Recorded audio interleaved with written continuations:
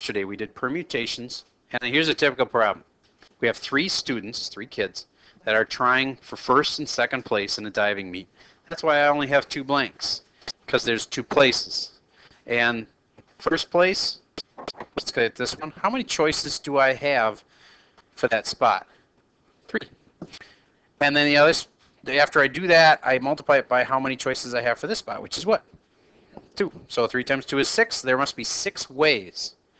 All right, just to remind you so you can really relate to this, we're going to use uh, three names. Um, Kayla, LaFonda, and Van. K, L, and V. I'd like you to write out the six combos and put them like in order so that we, you know one's better than the other. Like this was first place, this is second place. K and then I don't even have a J. K and then L. So you know one's above the other. Write out your six combos. I'm just trying to make the point here so you, you can get these in the real world. Now notice I don't want sets of three. I want sets of two this time. Because the third place person doesn't even get a medal or whatever. So it's KL, LV, KV, LK. What's the last two? VK and VL. You guys know where that name LaFonda comes from? Napoleon Dynamite, very good. Okay. All right. Let's uh, talk about a different way that you can compute these that's more powerful. This is also a permutation. It's the same exact problem, and it is a like a way that you can use to compute them that can be done on a calculator and that part can be entered on a calculator if you know where it is, and I'll tell you where it is tomorrow. For today, I want you to do them by hand. Um, and it involves this number right here, which is how many contestants there are, goes on top as a factorial. And then these are the two numbers that are here and here being subtracted from each other. This is this is not the contestants, it's the number of prizes there are, I guess, or places. And those two numbers together get put in over here as 3 minus 2. Well, what is 3 minus 2? 1, so it's really 1 factorial, which is just 1. So the bottom is just 1. Is it always just 1? No. Let's do 1 together and see if you understand what I'm talking about here. Actually, let's add a page. Um, say I had 6p3. Now, what does that mean? It means there were six what's contestants, and there are three what's possible places or prizes or okay and instead of listing the names and everything I just want you to compute this using the way I just showed you.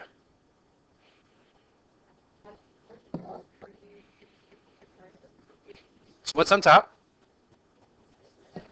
6 factorial. What's on the bottom? 6 minus 3 factorial. Which means 6 factorial over 3 factorial. And don't actually use a calculator to figure out the factorials. You can do this by canceling and stuff. This means 6, 5, 4, 3, 2, 1. All over 3 times 2 times 1. And this part, 3 times 2 times 1, cancels. And I bet you can do the rest in your head.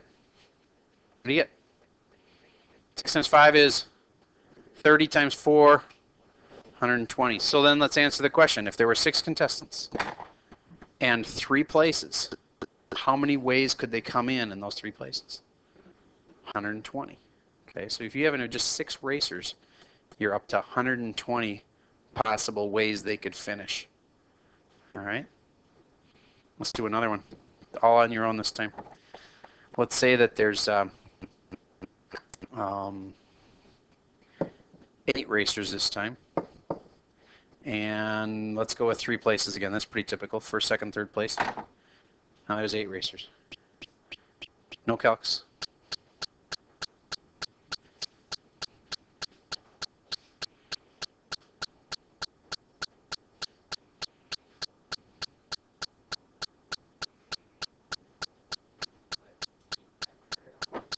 Yep. And what's 8 minus 3 factorial? 5 factorial. And did you see that a bunch of stuff's going to cancel? 8, 7, 6, 5, 4, 3, 2, 1 over 5, 4, 3, 2, 1. Cancels, cancels. Can you do the rest in your head? Uh, 8 times 7? 56 times 6. Got it? 5 times 6 is 30. Oh, 6 times 6 is 36. 6 and 5 is 30 plus 3 is 33. 336. So there's 336 different ways they could come in. First, second, and third. That's a lot, isn't it? And can you imagine if it gets pretty crazy if you're doing the state meet and you're uh, you're gonna like run 50 runners and then only have three places for a second, third. And it's an insane number of possible combinations. All right, now that's uh, permutations where order matters. Let's talk about it. Uh, actually, there's one more weird situation we should talk about, um, and that is where you have like 3p3. Would you please use this little formula that we just learned? This is an example problem here. It's not a formula, it's just an example problem. And use it to solve 3p3 on your scratch paper. And then you tell me what weird situation comes up that we have to deal with.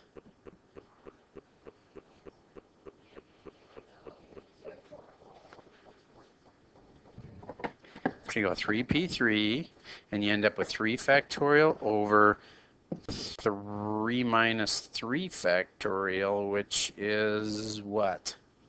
0 factorial. So we better know what to do in that situation.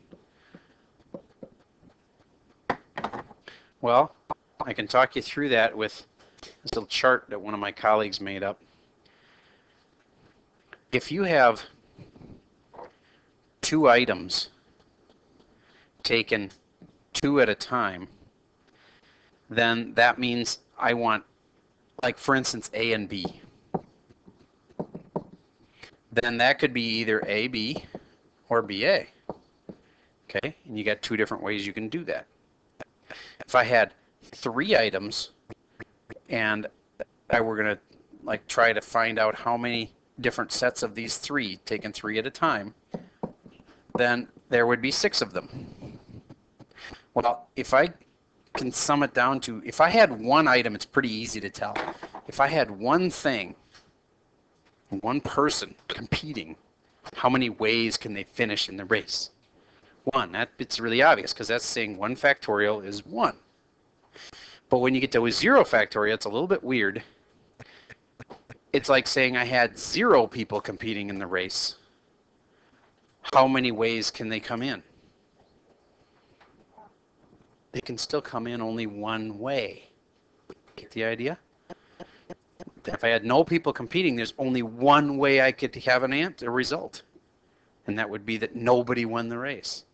Okay, so that's another way to think through that zero factorial has to really be equal to, what do you think? One.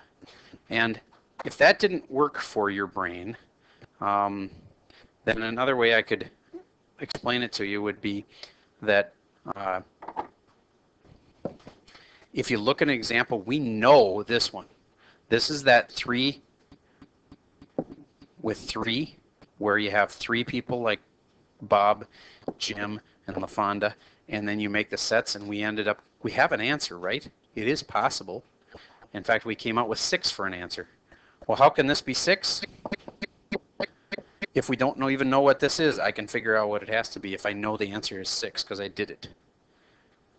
That has to be one. 0 factorial has to be 1. All right, and we it's not unprecedented in math. We sometimes have to make a definition like that. Do you remember doing things like this? 5 to the 0 power? What's that equal to? 1. It's hard to picture in your head, but again, you can make a mathematical reasoning for it, but you, in the end, you just have to know it's a definition that anything to the 0 power is equal to 1. Well, anything with 0 factorial, it's also equal to 1. Okay, so don't when you get some on your homework that have zero factorial, don't freak out.